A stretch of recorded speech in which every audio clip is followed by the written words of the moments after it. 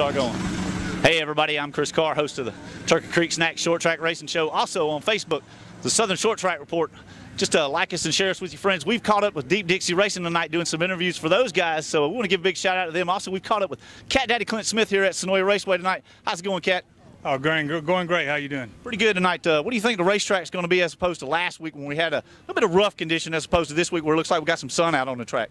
Yeah, the sun's the the biggest friend right now. They uh, last week it was kind of rainy and stayed cloudy and didn't get any wind and it just stayed wet and uh, just really really fast. But it got uh, it got kind of rough and choppy. And this week I think they've uh, took precautions and and uh, kind of dug it up this morning and let it aerate out and uh, dry. And then they packed it back in. They'd been applying water to it as they want to put water to it instead of Mother Nature. So I think we'll have a great race surface and uh, slow down a little bit. I hope so since I got a small motor tonight. So um, hopefully we uh, got better luck this week than we had last week.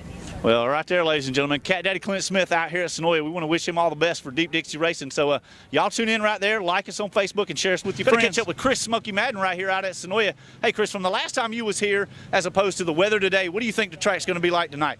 Uh, hopefully it'll be a lot harder and a lot slicker, you know, and the racing will be a lot better. I mean, the racing wasn't bad last time. Me and Jonathan put on a great show for the fans, but it was extremely fast. So um, I think it could be better, you know, if it slowed down some. So I think that's the situation we'll have tonight. Have you done anything different since the last time you was here? I know you've gone on running a couple of different races since then, but you know the track here constantly changes on this gumbo we got. No, nah, I mean, uh, we change something every week and come back and try it, see how it is. But uh, as far as we have our baseline that we can get back to, and uh, it's been pretty good everywhere. Excellent. Well, that's it right there, y'all. Chris Smoky Madden right here at Senoia Raceway. Want to wish Deep him all the best tonight. We've caught up with Tyler Millwood here tonight. And I know you've been out here before to Senoia Raceway. What's your overall opinion on the new gumbo? Uh, well, I haven't been here when it's been slick like they've been saying it's been. The only time I've been here is when it's been hammered down. So hopefully tonight it'll be a little slick and we can do some racing. Yeah. Well, since the last time in the last race, the Ray Cook Series with here, have you had any chance to venture out in other different places to get better as far as to be better up there on the front? Oh yeah, uh, we raced Dixie Speedway two weekends ago. We le was leading and broke, so we've been real good. And started fifth in the Lucas Oil race at Boyd, so we've been had a real good season. And just looking for that win. I feel like we could have had it a couple weekends ago, but we just broke leading. So, but we're getting there. Yeah. Well, there he is right there, Mr. Tyler Millwood. Want to wish him all the best right here tonight from Deep Dixie Racing. Going up some of the driver interviews, and I've run into my good buddy here, Magic Matt Dooley out of Brooks. Since you've uh, stepped up to Super now over here at Senoia and you've put in some laps, what's your thought process on that whole process from the limited car now up to the Super game with these guys? No, it's a lot different. You know, it's a big step. Uh, competition's obviously uh, better, so we're learning and just trying to log some laps and get better. Well, the, the racetrack here at Senoia has thrown a curveball week in and week out. It's not been the same from the start of the season up to this point.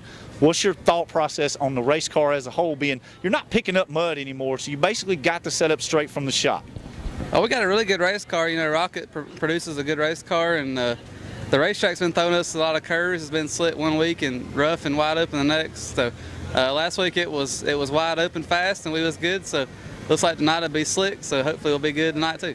Well, there he is right there, y'all. That's Magic Matt Dooley out of Brooks, Georgia. Want to wish him all the best tonight from Deep Dixie Racing. Go get him, buddy. Let's uh, catch up with Joey Armistead right here, who's tonight you're running Mason Massey's car, Special Olympics. How you feel about that, bud?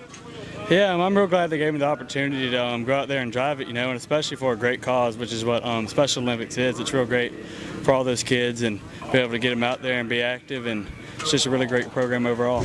Well, it's, it's one of those special nights. What do you what what makes you so good here at Senoia? You were one of those guys that didn't see the gumbo at all, but the minute you pulled out onto the racetrack, you're one of them guys who set fast time that night and also went on to win the race.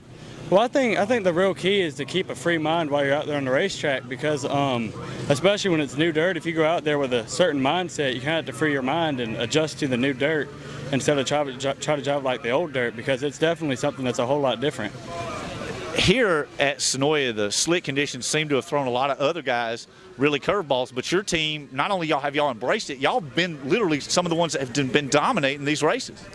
Yeah, um, slick racetrack is something that um, it's it's it's a thing to be good at. It's what everybody struggles with, and um, it's it's real key. That's what we try to focus on. The mud's usually something easy to drive in, but the slick is definitely something a good bit harder. And um, it's something we've practiced going around like tracks like Talladega and stuff like that. And we're glad to have a track that's slick here, so we can just keep getting better. It's it's all about being real smooth and being real soft on the gas pedal and um, just not spinning tires. So it, it's definitely a lot harder, but um, it's what makes good drivers. Well, there he is right there, the number 21, Joey Armistead in the limited late model division out here at Senoia. Tonight, going to going to run Mason Massey's car for the Special Olympics of Georgia. Go get him, buddy. Thank you.